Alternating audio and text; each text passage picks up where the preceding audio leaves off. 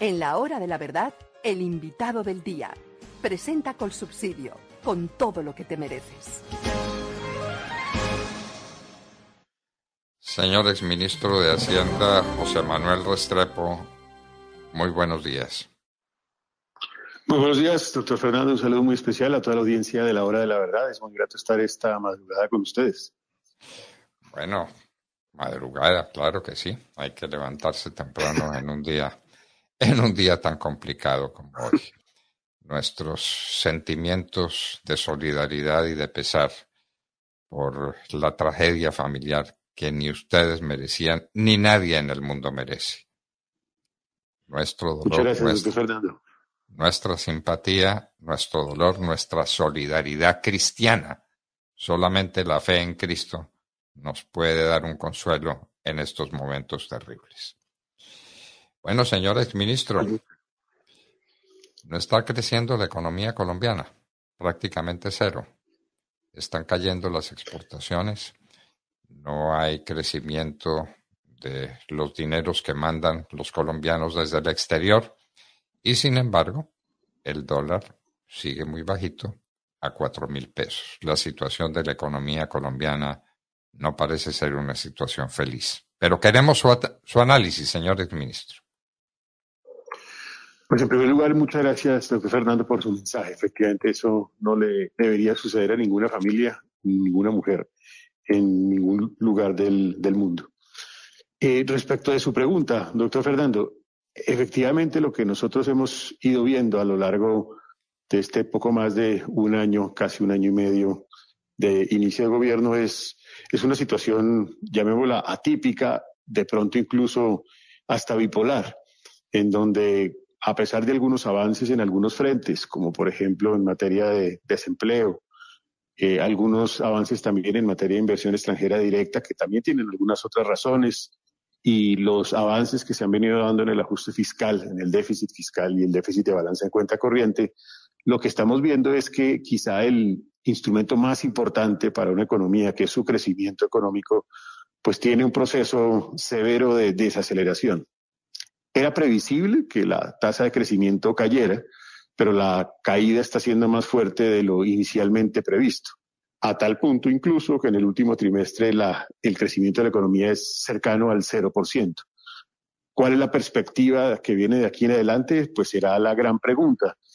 Y todo dependerá de que efectivamente se prendan los motores del crecimiento. Uno no puede crecer cuando no le ayuda el crecimiento, cuando no prende los motores del mismo.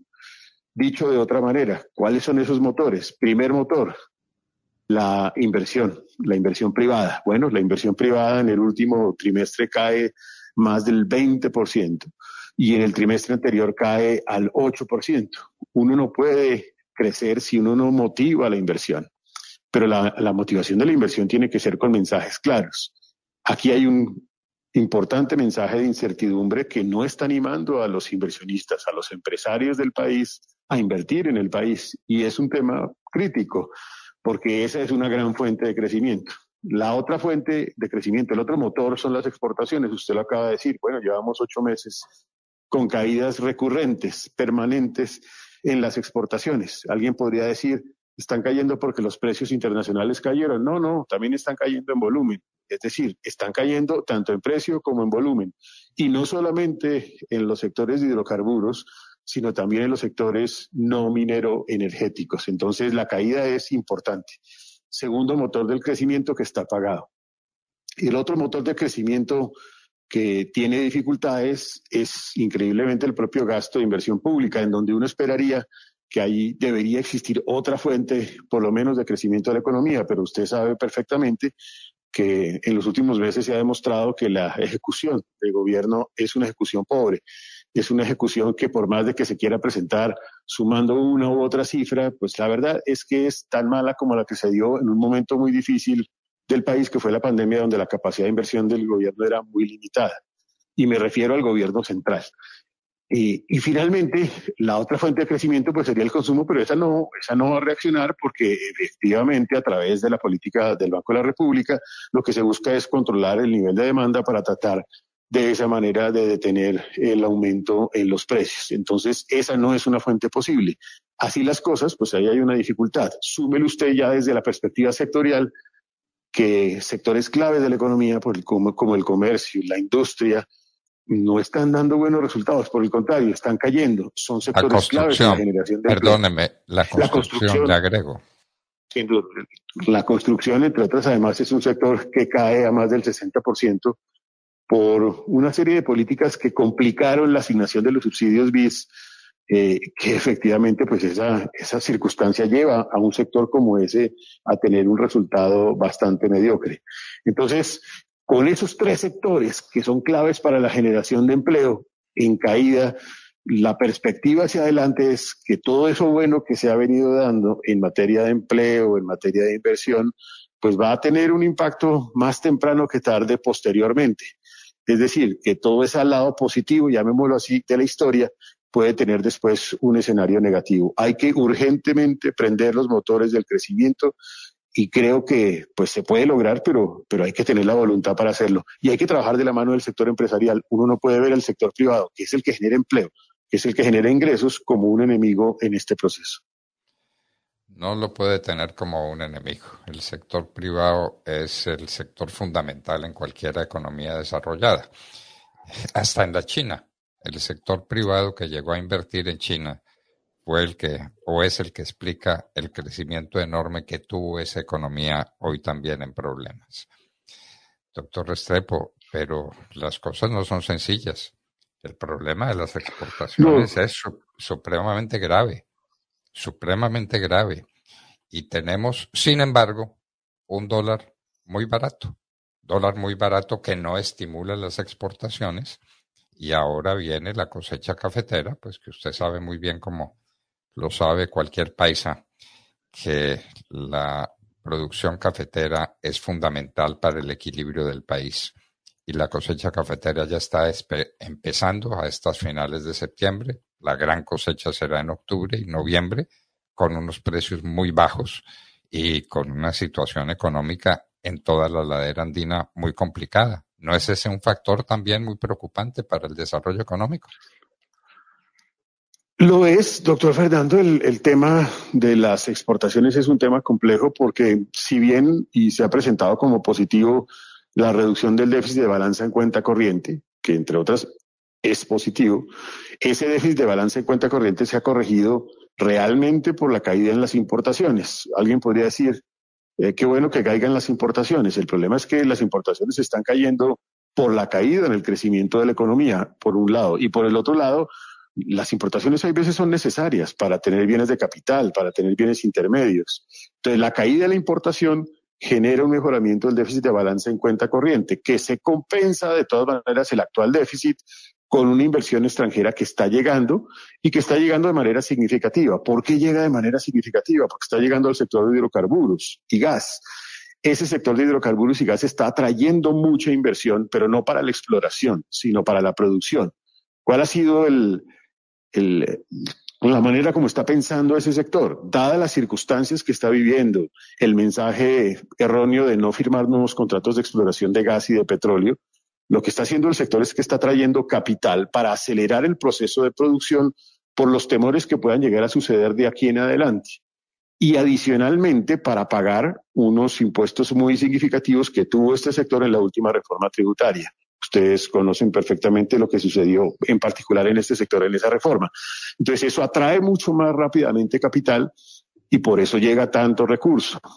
Pero ahí es donde estamos jugando con ese, esa gallinita de los huevos de oro, que es el sector de hidrocarburos, con medidas que yo creo que han sido equivocadas. La no deducibilidad de las regalías, por ejemplo, es una medida totalmente absurda. Yo no entiendo a quién se le ocurrió eso en la última reforma tributaria. Pero más allá de eso, ese es un sector clave de la economía al cual no se le han enviado los mensajes claros que deberían enviársele. Eso genera entonces una atracción de inversión y esa llegada de inversión, que repito, es significativa de inversión extranjera, junto con la reducción del déficit de balanza de cuenta corriente, mantiene un buen comportamiento, creo yo, del dólar en este momento. De todas maneras, por encima de lo que debería estar, es que en las circunstancias actuales y comparado con otros países de América Latina, el dólar nuestro debería estar del orden de 3.600, 3.700 pesos por dólar, comparado con los otros países de América Latina. Y las exportaciones, pues tampoco están, llamémoslo así, ayudando mucho en este escenario, en la medida en la cual, como lo dijimos anteriormente, caen por volumen, caen por precio y en general cae su dinámica. ¿Qué se necesita? Hombre, que todas esa serie de políticas que se han venido implementando, de promover el comercio internacional, de propiciar más multilateralismo, de abrir otros mercados, funcionen. Eh, a mí no me incomoda que se abran mercados distintos, por ejemplo el mercado africano, pero que funcione. Eh, me parece que es importante promover el multilateralismo, pero que funcione. La Alianza del Pacífico está parqueada, físicamente parqueada, no se mueve. Y ese es un instrumento muy valioso, es la doceava economía del mundo. Si nosotros no movemos Alianza del Pacífico, pues no vamos a generar una dinámica positiva. Entonces, en general, los sectores exportadores les está yendo regular. Todo el avance que tuvimos de récord histórico en su momento de agroindustria exportando ya no se está dando. Entonces, hay que acelerar esos procesos o mover esas políticas para que funcionen. El sector agropecuario se dijo en el Plan Nacional de Desarrollo que iba a crecer al 6%, bueno, está creciendo cerca del 0%. Si realmente tiene hoy un presupuesto de tres dígitos que es positivo, pues que funcione y que el sector efectivamente genere la dinámica que se esperaba del mismo. Bueno, y hay un tema que nunca se menciona cuando se hacen estos análisis económicos y a mí me sorprende eh, ese silencio, silencio que aquí también hemos tenido. ¿Cuál es la participación de un sector subterráneo de la economía colombiana, pero gravísimo en sus consecuencias sociales y también con efectos muy serios sobre la economía, el sector del narcotráfico. Estamos hablando de cifras gigantescas de ingresos del narcotráfico que o bien vienen a Colombia o se quedan en algún paraíso por ahí enredados. Pero estamos hablando de unas cifras colosales en medio de esta situación de pobreza. ¿No será la hora de tomar en serio desde el punto de vista económico el narcotráfico? Yo digo desde el punto de vista económico y desde el punto de vista político, es decir, el crecimiento en materia de cultivos es absolutamente obvio y el impacto que tiene el narcotráfico en violencia, en microtráfico, en afectaciones incluso a las familias, de las comunidades en las poblaciones más eh, lejanas del país donde se genera microtráfico y eso afecta a las familias afecta a los niños de esas familias. Eh, pero además de eso, ese dinero inyectado en la economía y en la sociedad es un dinero malo, es un dinero que genera terribles consecuencias en la dinámica interna de las naciones y de las ciudades y de los territorios. Entonces, el, el, el problema es severo allí y ahí, pues lo que vimos es que hay como un cambio en la manera como se mide ahora esta película. Entonces, ahora es por incautaciones y ya no hay una medición de, cómo se controla la, producción. Y sin embargo, pues ese, no es el camino, porque incautaciones puede haber todos los días y se vuelve una casuística del caso X, Y o Z, donde hay una incautación, pero ese no es el punto. El punto es de verdad cómo controlar el, pues el abuso y lo que se está generando en este momento en materia de producción de, en el narcotráfico. Es, es un tema crítico, no solo para la economía, sino también para la sociedad. Doctor José Manuel Restrepo, ministro de Hacienda, no sabe cuánto agradecemos su presencia y le repetimos nuestra solidaridad cristiana ante el dolor de su familia. Son cosas que no pueden pasar. Eso no es un acontecimiento cualquiera. A ustedes, desde luego, les llega al alma, pero a nosotros también nos parte el corazón que esto pueda suceder. Esta forma de violencia, de violencia absurda, absurda, increíble, que tiene mucho que ver a nosotros nos parece con la falta de educación cristiana en los colegios. De ahí, de ahí surgen tantas cosas. Bueno, en todo caso, volviendo a nuestro tema de la economía, muchísimas gracias por habernos dado esta lección espléndida de lo que está pasando en Colombia y sobre la necesidad de poner en funcionamiento los motores centrales de la economía que en Colombia están completamente apagados con perspectivas supremamente inciertas para la paz de Colombia, para su bienestar. Muchísimas gracias, doctor Restrepo. Muchas gracias, doctor Fernando, y pues mucha atención también a lo que viene ahora con la inflación de reformas que están en el Congreso de la República, que pueden, la mayoría de ellas, como están concebidas, enviar mensajes muy erráticos para la economía misma. Muchas gracias por la invitación. José Manuel Restrepo, exministro de Hacienda, eh, una persona que libró unas batallas muy serias por la economía colombiana y que ahora nos está haciendo un análisis muy serio, muy objetivo y muy grave sobre lo que pasa con la economía colombiana. No estamos creciendo. Y eso, señores, se